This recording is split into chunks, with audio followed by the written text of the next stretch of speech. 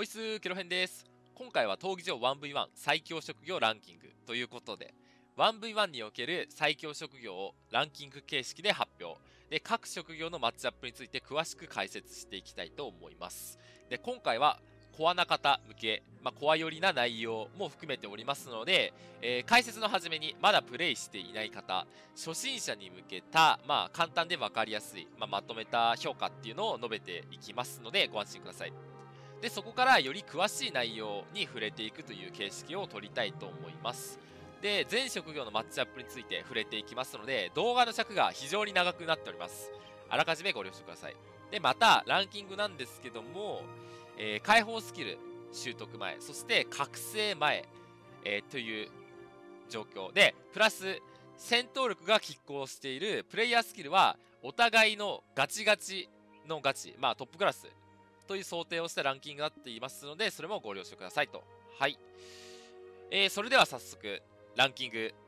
発表、ドーンっていうことなんですけども、はい。こんな感じになっております。1位、ウォリア。2位、バルキリー。3位、ジャイアント。4位、レンジャー。5位、ウィッチ。ということで、まあ、プレイ済みの方は、おおむね納得の内容ではないのかなと思います。で、初心者の方、まだ、まあ、訳が分かってないというか、不運程度 だと思うので、ではこれから、えー、動画を交えた解説をしていきたいと思います。で、1位から解説していって、各職業、えー、2つずつマッチアップの動画を解説していくと。で、そしたら、えっ、と、初期クラス全てのマッチアップを網羅できてしまうということなんで、そういう感じでやっていきたいと思います。えー、それでは、1位のウォーリアから見ていきましょう。ウォーリアは近距離遠距離に対応した追撃、ヒットアウェイの戦術が可能なこと。えー、同じく怠慢強者盾持ちのバルキリーに対して有効の投げを2種類持っていることから1位になりました。えー、それでは早速マッチアップに触れていきましょう。で、64とかっていう数字は有利不利を数字で分かりやすく表したものになっています。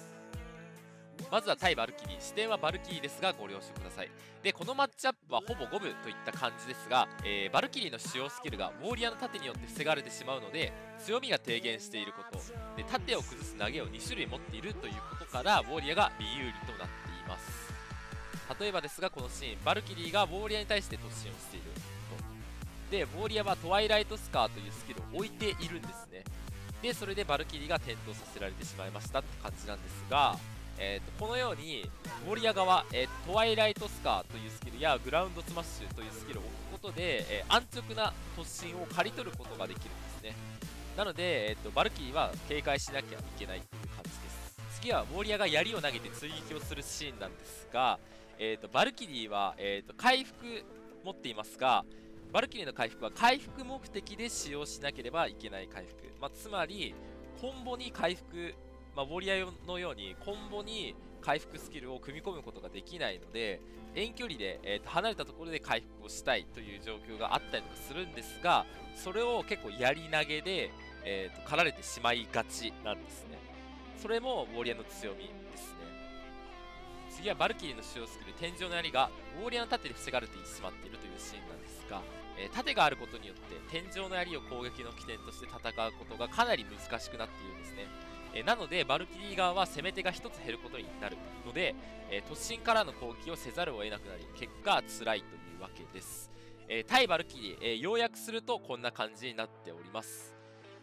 で、えーと、まあ、天井の槍ですかね。天井の槍っていうのは、そもそも射程内の敵に対して必中、50%の確率で転倒っていう、まあ、かなり強いえー、スキルなんですけども、これを縦で防がれてしまうっていうのが結構一番でかいですかね。まあ、プラスで、えーと、ウォーリアは、えーと、コンボに回復を組み込むことができる。バルキリーはできない。で、できないんで、やり投げで結構狩られてしまいがちっていうのは、その2つが大きなポイントかなっていうふうに思います。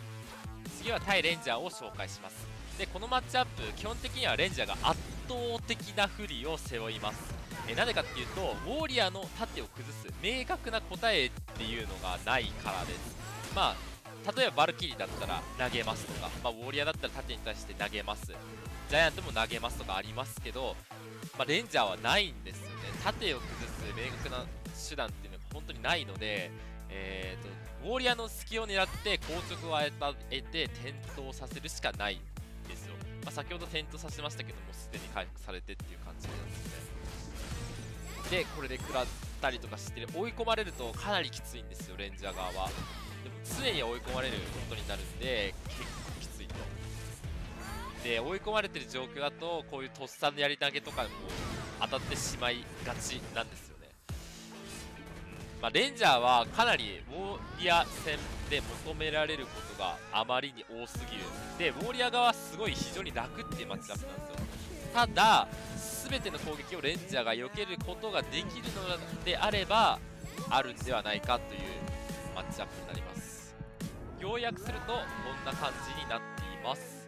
えー、まあレンジャー側基本的に辛いんですがバルキリーを相手にしている時よりは、えーと、回避に多少余裕があるのでさばきやすいかもしれません。まあでも辛いといった感じになります。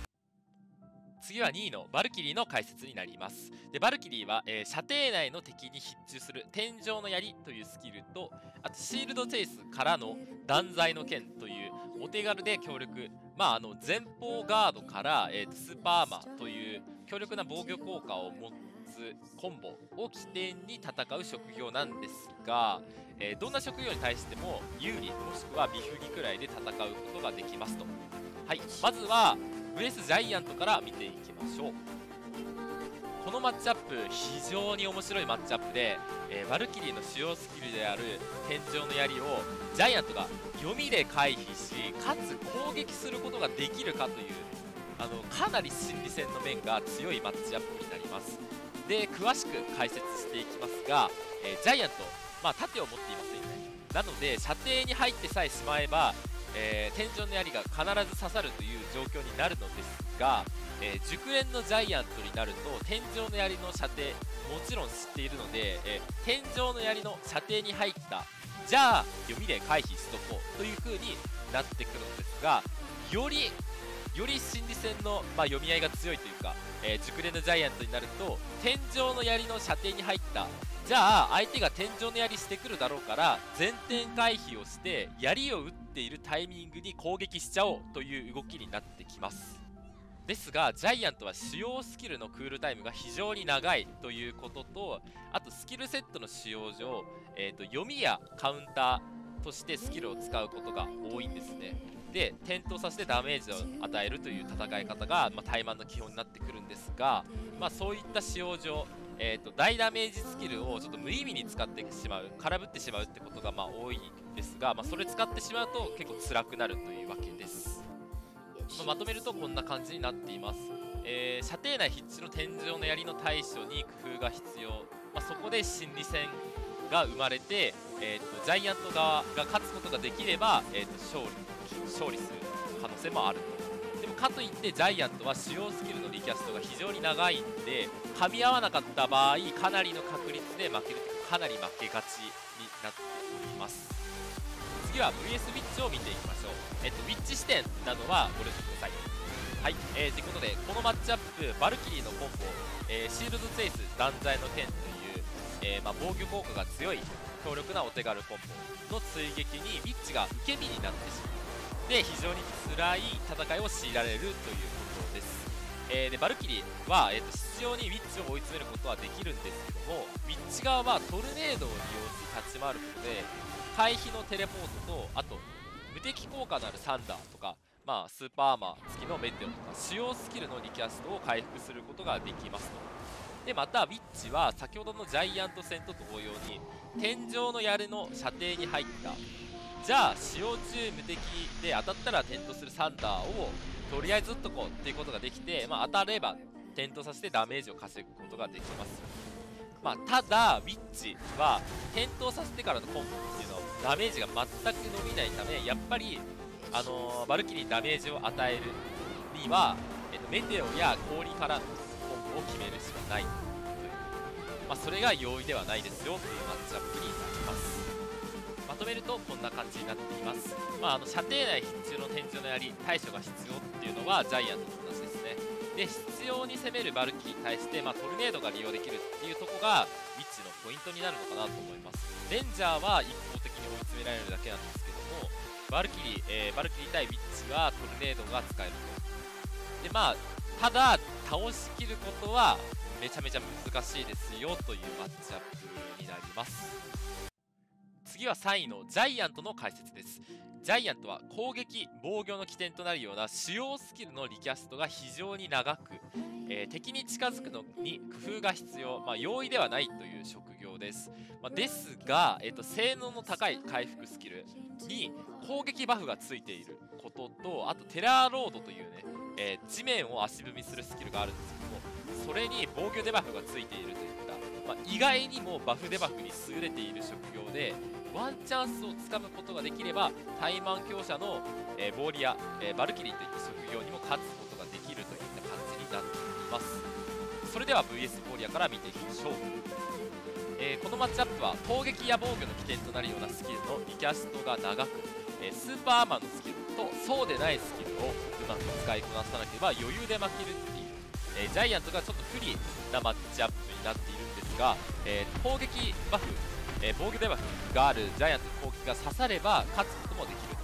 というわけです。詳しく見ていきますが、え、ジャイアントはスーパーアーマーで突進するスキルを持っていますが、え、リキャストが非常に長いため、え仕掛けるために使うと追撃に使うスキルがなくなってしまいます。なので無敵効果のある跳躍を使いたいところなのですが跳躍スキルは着地時に無敵効果がないので、えーと安易に使うとその隙を狙われてしまうことがあります。なので先ほどから使っている斧を縦に振るスキルと回避そして跳躍を混ぜて、えー、近づくのに変化を加えていきます。でここで気をつけてほしいのが1つ。で斧を縦に振るスキルはスーパーアーマーがついていないんですね。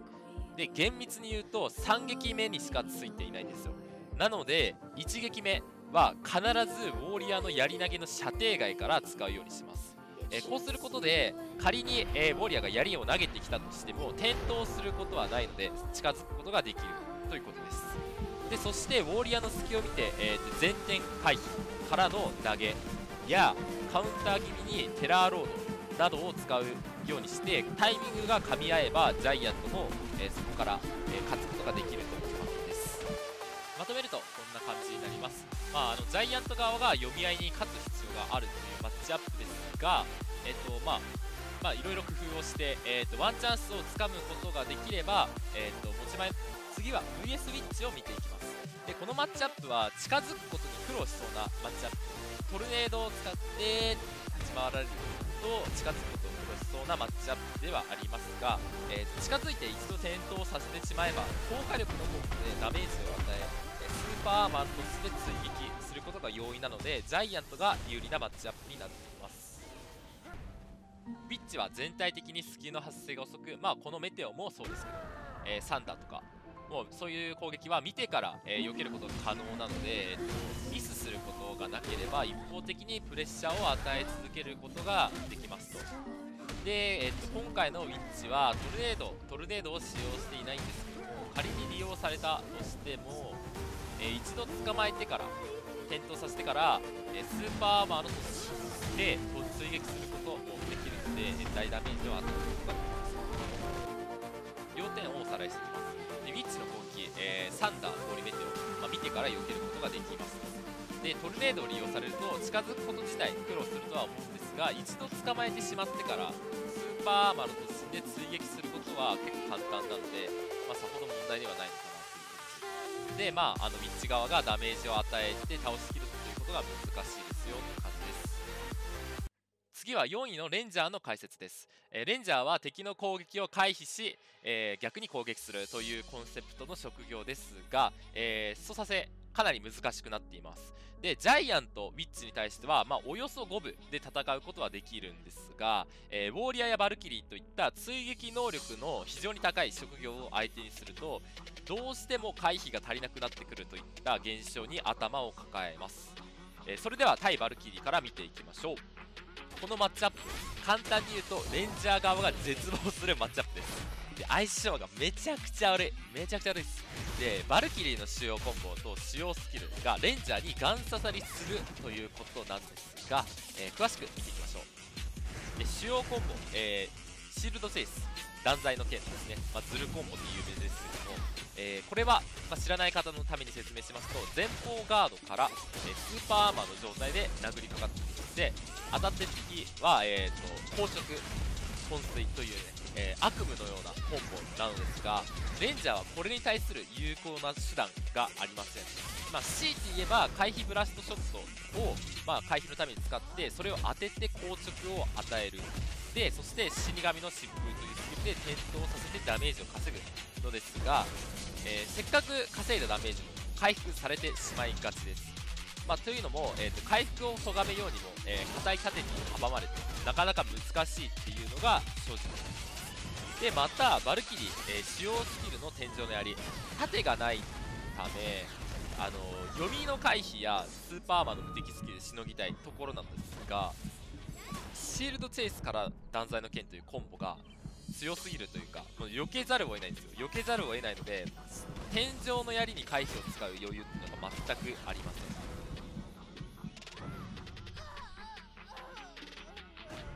要約するとこんな感じになるのですが、まあ、レンジャー側が、えー、回避を使いたいタイミングっていうのがあまりにも多い。まあ、あまりにも多くて回避がなさすぎると。で天井の槍来るとダメージ食らうと。でそのままもうなんか死ぬという感じになります。それでは対ジャイアントのマッチアップを見ていきましょう、えー、ジャイアント視点になりますがご了承ください。でこのマッチアップは、えっと、近づくことに苦労するジャイアント VS そのジャイアントをさばきつつ攻撃するレンジャーという構図になります、えー、詳しく解説していきます。実はですねレンジャーバルキリーの天井の槍のような射程内必中で、えー、かつ敵に硬直効果を与えるというスピンアローというスキルを持っています。なんですが、えーと、熟練した者同士の戦いでは、えー、もちろんお互いのスキルの射程知っているためレンジャー側もスピンアローを当てるのは容易ではないですしジャイアント側もスピンアローを撃つタイミングを狙って攻撃します、まあ、してくると。まあそれにレンジャーは、えーとあの気をつけなきゃいけないんですけどもジャイアント側レンジャーのスキル射程に入ったイコール、まあ、レンジャーが攻撃してくるだろうからそれに合わせて攻撃しちゃおうっていう感じでやっていきます、まあ、それに対してレンジャー、えー、その攻撃を回避しさらに攻撃しを加えなければいけないというわけです、まあ、一度捕まってしまうとジャイアントの火力で一気に体力を削られてしまうんですが、えー、それまでにジャイアントも苦労するのと攻撃パターンを読まれた場合結構辛くなるなと思ったので、えっ、ー、と、五分五分、五分という評価にしています。要点は見えている通りになります。まあ、五分五分なので、読み合いの世界、まあ、ミスをしないという感じの戦いになってくるということですね。次は5位、ウィッチの紹介です。でウィッチはメテオによる遠距離からの大ダメージを生かし、集団戦で輝ける職業ですが、怠慢は苦手としています。っていうのが、今までの説明だったと思うんですけども、昨今の PVP 研究により、えー、ウィッチでも怠慢ちょっと楽しめるんじゃね？説がちょっと浮上しているっていう。今僕の中で最も熱い職業になっています。もうでもでもでもでもでもでもあの怠慢は辛い。やっぱり辛いということはお忘れなくお願いします。それではタイウォリアから見ていきましょう。このマッチアップはウィッチが一方的な不利を背負うというマッチアップになっています。まあ、あのウォーリアの使用スキルやり投げと突進術がウィッチに対して刺さる、まあ、あとウィッチが縦投げ縦投げじゃないですね。縦を持っている。ということがまあ主な要因になっています。で、まあ、詳しく解説していくんですが、まあ、まずウィッチはウォーリアのやり投げや突進突きに対して警戒をしつつ、まあ、トルネードを巻きで、えー、それを軸に戦って、えー、サンダーやメテオ氷からのコンボでダメージを稼いでいくんですけどもまあ、ウォーリアにまずまあ盾がある。先ほど言いましたけど盾があることとあとですね捕まった際の、まあ、もらうダメージがめちゃめちゃ高いんですよねウォーリアは。っていうのもこともあり結構辛い戦いを強いられます。で基本的にはもうメテオとかっていうのもまあ当たらないんでこういう風に細かいサンダーとかのダメージを稼いでいく必要があります。で遠距離のやり投げこれも警戒しなければならないですね。サンダーもあの縦に防がれてしまう。で捕まった際のコンボもかなり取られるっていう感じですね。でさばくもう本当にひたすらさばくめに、まあ、トルネードとか使いながら動き回るんですけどもそれがなかなか難しいのでやはり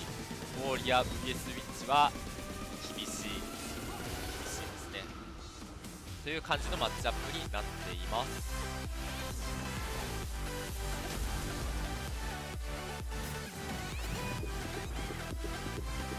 要約するとこんな感じになっております。まああの盾を剥がしてダメージを与える明確な手段がない、まあ、投げがないので仕方ないんですけどもあとはウィッチ側がやりたいというトルネードを軸に立ち回るという動きが、えっと、遠距離から放たれるやり投げとあと前方ガードで突っ込んでくる自動追尾してくる突進好きがよく刺さるということでやらせてくれないっていうのが主な要因になるということです。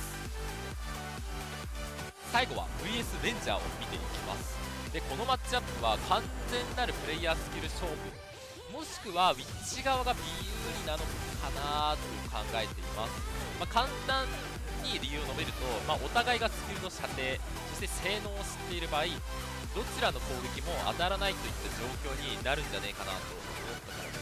すでまあ詳しい解説をしていきます。でウィッチ側はトルネードを軸に立ち回っていきますで近づいてくるまああのレンジャーがスピンアローを打つために、えー、近づいてくる、まあ、射程内必中のスピンアローですね。を使ってくるんですけどもそれに対してこちらは使用中無敵のサンダーで応戦しますと。でサンダーは見てから避けること、まあ、全然可能です。可能なんですけども、えーと、スピンアローというスキル敵に硬直を与えるんですが硬直時間がめちゃめちゃ短いんですね。めちゃめちゃ短いので敵の状態を見てから点灯させるという行動が結構難しい。難しい行動になっています。なのでレンジャー側は硬直を与えてから点灯硬直を与えてから点灯硬直を与えたら点灯っていう考えに駆られてサンダーを避けるという判断を鈍らせがちになります。でまたウィッチが使うトルネード。このために回避を使うとウィッチに必要に追われた場合メテオを避けるための回避がないといった状況にも陥ることがあるのでなのでウィッチの方が有利かもしれないなと考えています。しかしでまあ現状ちょっとまだわからないので一応5分ということにさせていただきました。要点をまとめるとこんな感じになります。まああのレンジャーが仕掛けるスキルスピンアローでリッチが仕掛けるスキルサンダー、まあ、氷とかありますけども、まあ、氷とかが避けれる全部避けれると。いうことなんで、まあ、お互いがスキルの射程性能を知っていた場合攻撃が当たらない戦いになります。ただ操作難易度的にレンジャーがミスをしがちなのでっていうのもあり、えーと、あとトリネートで立ち回りやすいと。ことも考えたらビッチが右有利かもしれないということです。はいいかがでしたでしょうか？一応全てのマッチアップを網羅することができましたと。で、えっと、ランキング結果のおさらいなんですが、えー、ウィッチ、なんだか強そうに見えませんでしたか？でも、でもですよ、でも、でも、ウィッチ使ってみてください。ちょっとウィッチ使ってみてください。おそらく、めちゃめちゃ弱くでって思っちゃうと思います。てか、実際弱いんですけども。